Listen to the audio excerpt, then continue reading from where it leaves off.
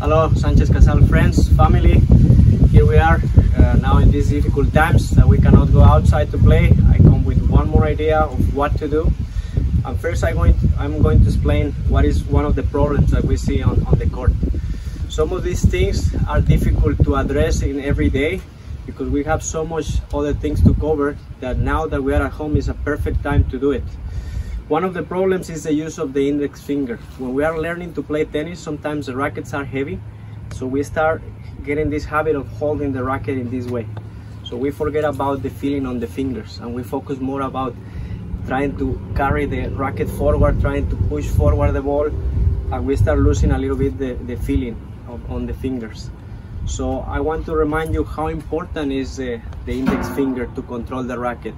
And it comes a lot with the practice that we sometimes we don't have because on the court we are hitting a lot of forehands, backhands, and this feeling on the finger sometimes it requires that you take an extra time.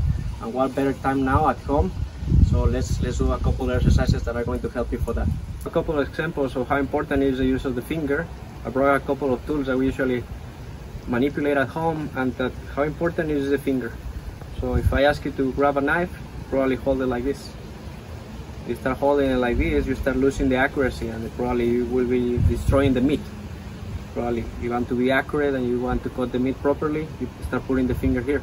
If it goes too much, you also start having problems. Is a regular, regular tool. Another one is the screwdriver. Usually when we want a lot of power, we put the finger down and we start just forcing with the screwdriver. When we want to be more accurate, we start putting the finger out and we start being really accurate with, with this tool. And finally, the last of the tools, when you are learning to write, you learn to write this way. Because you don't control the, the finger so much, you don't feel like you can control it. But little by little, you start using the fingers until it comes to this position, this grip. So with the racket, it is the same. We learn to use the racket, and sometimes we forget how important are the fingers. Other tools that you can hold and remember how important it is the, the use of the index finger. So let's go directly to the exercises that we're gonna be doing. And these exercises are very simple. You can do them at home. All what you need is to have a wall where you can bounce the ball. Hold the ball with a couple fingers. Put a lot of, of the pressure on the ball with the index finger. Okay? So normally we will hold the ball like this. And if I ask you to bounce the ball against the floor or throw it against any surface, this will be like use the regular grip that we will have for the ball. But right now I'm asking you just to do it with one finger, the index finger, and start having some feeling. So we just kind of start bouncing the ball or throwing it, but only with the finger. First, we need to get the control. So yeah, because if we start throwing it very hard, it can be go all over the place. So we just have to start just throwing it against the, the wall to get the, the control. Now we can start having a little bit of motion on the on the feet, so we can throw it in different parts and start following the ball around, only with the finger. Once we get good control on the ball, we can be more aggressive with the movement, but we can also start opening the hand, opening the palm of the hand. First with a couple fingers, but at the end, the whole palm. And this is gonna be good for the progression later for, for, for the serve, so that we can start having the feeling of how we release the ball, how we open the, the, the fingers. Okay, so the wrong way to do it will be just to throw the ball and have all the feeling on the wrist. Here, as you can see, I'm just throwing the ball, but I have my feeling here on the wrist. So I'm just holding the ball with all the fingers, throwing against the wall, and I can do it very fast.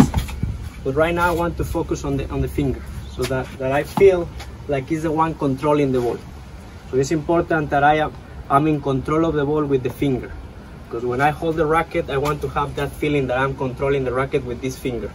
That the other ones are help, but this is the one that is gonna dictate how well I'm gonna do the drop shot, how well I'm gonna have that feeling to hit the drop volley, to just release the serve, just to have that little extra timing with the with the racket. And with this exercise, what we want to improve is the control of the racket. As you can see now, I'm holding my racket and I'm emphasizing a lot the, the use of the finger, okay? So we're gonna go from this position to this position So when we start doing the exercises against the wall, I also want to have this emphasis on the finger, how to how to uh, control the ball against the wall using a lot the, the feeling of the finger. Warm up, now we go back to grab the racket and put that emphasis on the finger. So we will do a couple of exercises just to start having this feeling with the finger. Yesterday Emilio started giving you some clues of how to do these exercises against the wall, getting the movement, getting the transition, how to, how to transfer your weight. I'm gonna emphasize the follow through, okay? So normally, if we are not paying that much attention, we will tend to use more the wrist. We will be using more the wrist to throw the ball. So in this position, you can see the ball gets out of bounds. We will be using a lot more the wrist. The wrist, the arm, and we can include a lot of the legs. In order to emphasize the feeling on the finger, we will try to remark the follow through, doing like a little bit like a spoon. So trying to throw the ball against the wall.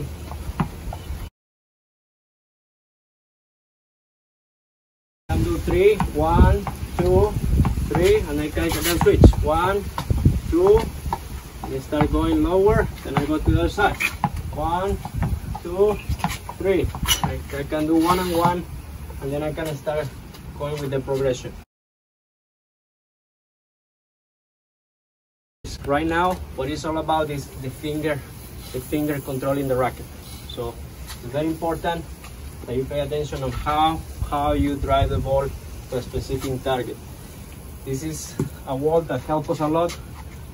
Here we have a target already, so we can go many times against the target. And instead of throwing the ball against the target, it's like we are passing the ball against the target.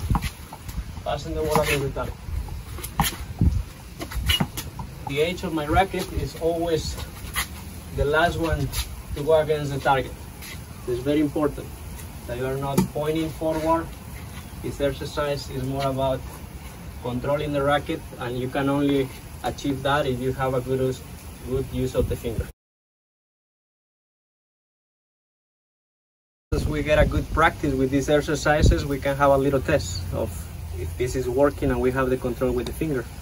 We can start just by holding the racket in the right position, spraying a little bit the finger, and little by little start taking all the fingers until we get only to the index finger and the pointer finger. So we can start by going to the wall, do a couple of repetitions here. We have no problem, I have control, that means I probably will be able to take another finger.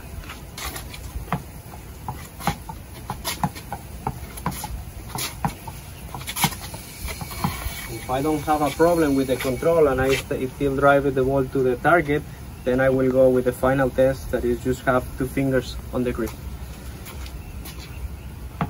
Here a lot of a lot of you will think I don't have enough power, but if we have the, the, the control on the on the finger, we will be able just to pass the ball, pass the ball to the wall, pass the ball to the wall, and really and really be able to drive the ball in the right direction.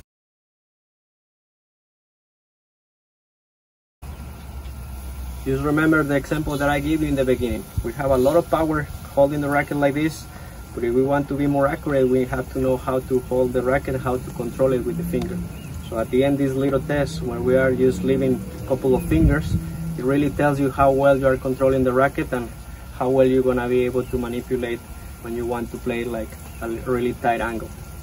So now with the coaches, uh, we are balling the whole time. We use a lot the continental grip. We have a lot of practice with this. So we usually we have this finger controlling the racket.